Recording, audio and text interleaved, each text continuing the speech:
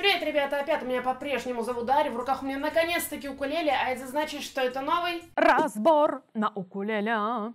И сегодня мы также будем продолжать учиться играть на укулеле. В прошлых разборах я посвятила теме боя, поэтому если вы до сих пор не смотрели, то обязательно посмотри. Но сегодня мы с вами разберем еще один способ игры на укулеле перебором, или по-другому арпеджио. Но если у вас уже возникают вопросы, что это за два непонятных слова, для того я сегодня снимаю это видео, чтобы вам все это объяснить.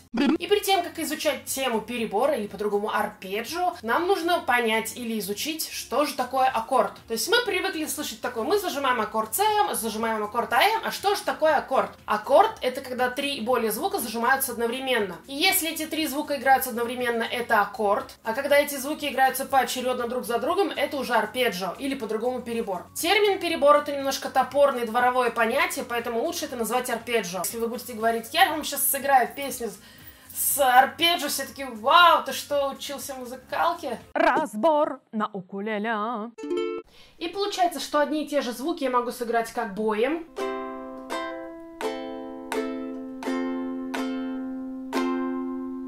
Так при помощи арпеджио.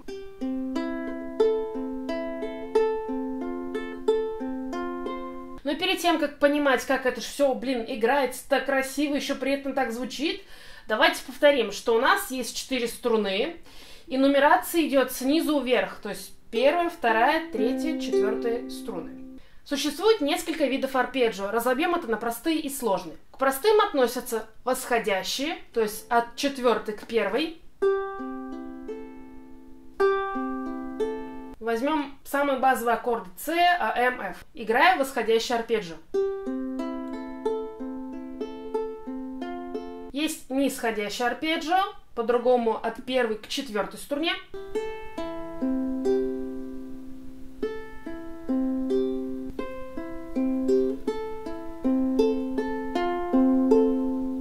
смешанное арпеджио от четвертой к первой и наоборот.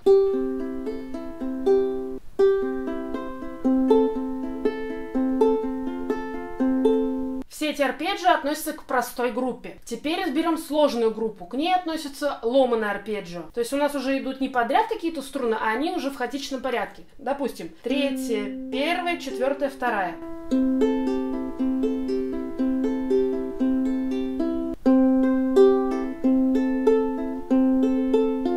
разбор на укулеле.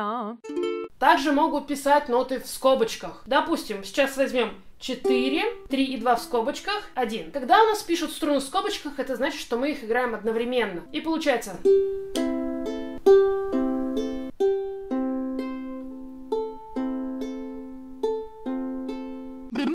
правильно играть арпеджио, нам нужно понять, как же играть-то пальцами, потому что до этого я играла все указателем, и теперь непонятно, у меня сейчас пальцы запутаются. И чтобы играть правильно арпеджио, мы должны помнить про положение пальцев.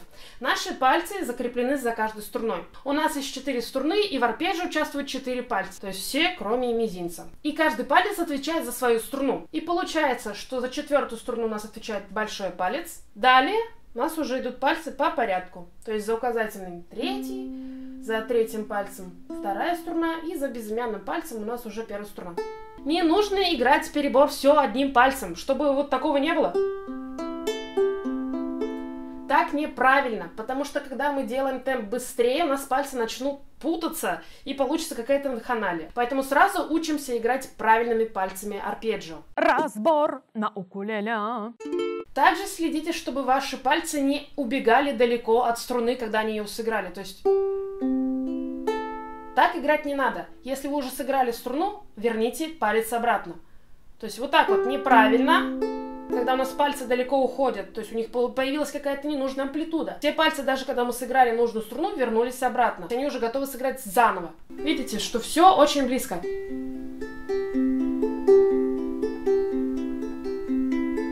Теперь возникает вопрос, а как же отработать-то мне арпеджио? Для этого существует несколько упражнений, и они все очень простые. Для начала мы должны понять, что не нужно играть все одним пальцем, это мы уже поняли. Теперь нам нужно как бы привязать наши пальцы к определенной струне, за которую они отвечают. Вы можете поставить позицию и просто начать играть. То есть вы можете играть простые арпеджио, Ну, естественно, все в медленном темпе, да, начинаем учить все в медленном темпе, когда я понимаю, что у меня все получается, начинаю ускорять. То есть не нужно играть сразу, чтобы у меня пальцы запутались. Отработали правую руку, подсоединяем самые популярные аккорды, которые я знаю. Когда вы уже освоились в простых арпеджио, переходите к сложным. То есть вы можете на листочке написать схему из четырех струн, допустим, 4, 2, 3, 2, 1. Сначала ее поучите отдельно. 4, 2, 3, 2, 1. И уже постепенно-постепенно прибавляйте темп. Разбор на укулеле. Также следите, чтобы ваши пальцы не вырывали во время игры струны. Я понимаю, что укулеле это струнно-щипковый инструмент, но не нужно переусердствовать. То есть, чтобы не было...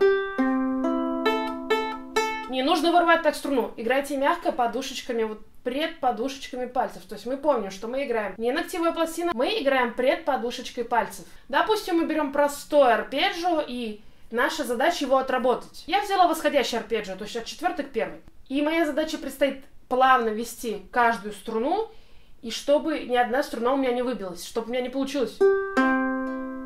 Да, вот, допустим, третья струна у меня прозвучала громче, чем все остальные. Так не должно быть. Если у нас не стоит такая задача выделить какую-то струну. Если нам нужно просто отработать перебор, мы плавно играем. Так же, как и в бой, мы можем делать динамику и акценты. Допустим, я сейчас сделаю акцент на четвертой струне, а остальные струны я сыграю тише. И получится. Также могу, допустим, сделать крещендо.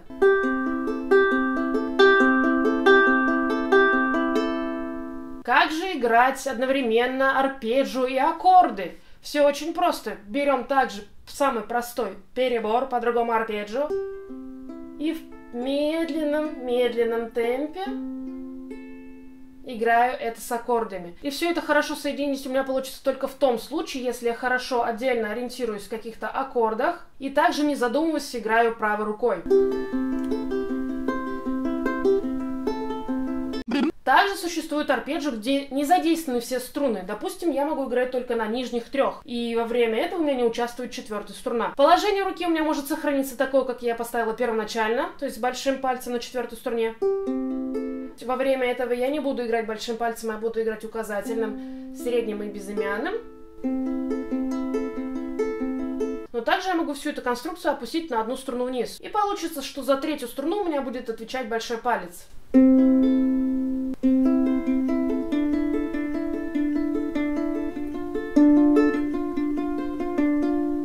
Разбор на укулеле. И теперь я понимаю, что нельзя играть все струны одним пальцем, но можно сыграть одним пальцем соседние струны.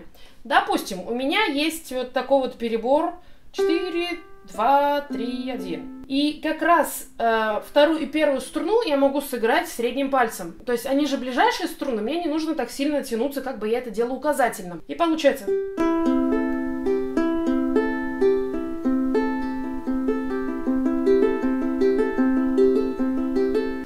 могла сыграть безымянным пальцем, но так как это соседние струны и мне удобнее, то я могу сыграть вторую и первую струну одним пальцем. Но для начала, чтобы так уметь играть, нужно научиться играть правильно, чтобы нарушать правила. Нужно научиться ставить руку в правильной позиции. То есть теперь вы понимаете, что можно играть не только бацы туда-сюда по струнам елозя, но и сыграть что-то лиричное и вокаличное.